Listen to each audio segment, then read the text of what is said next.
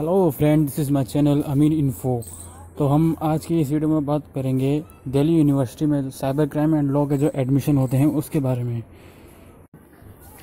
तो दोस्तों मैं आपको बता दूँ कि डी ने अपनी साइट पर post graduate cyber crime and law की फ़र्स्ट एडमिशन लिस्ट डिक्लेयर कर दी है।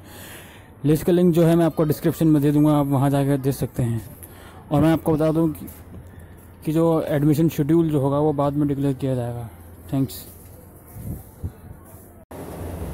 तो दोस्तों, वीडियो देखने का बहुत बहुत शुक्रिया। मैं आपसे कहना चाहूँगा कि मेरे चैनल को सब्सक्राइब ज़रूर करें और मेरी इस वीडियो को लाइक करें, शेयर करें और अपनी जो क्वायरीज हों वो कमेंट करके ज़रूर बताएँ। Thank you.